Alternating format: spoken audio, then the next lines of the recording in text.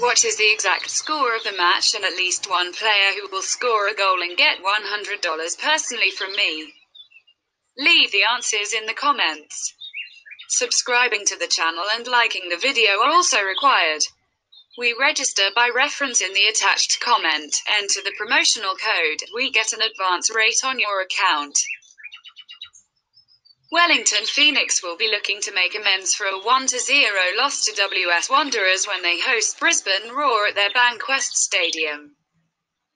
Ufuk's men aim to regain their spot in top two, but the game against Brisbane Roar will be anything but a walk in the park for them. It has to be noted that Wellington defender Luke De Vere misses the game through suspension. Warren Moore's men, on the other hand, quickly bounced back from a 1-0 loss to Adelaide United with the team beating Melbourne victory 2-1 on the road. Australia veteran Scott McDonald scored his fifth goal of the season against Melbourne, meaning that the opposition defenders should have him at bay.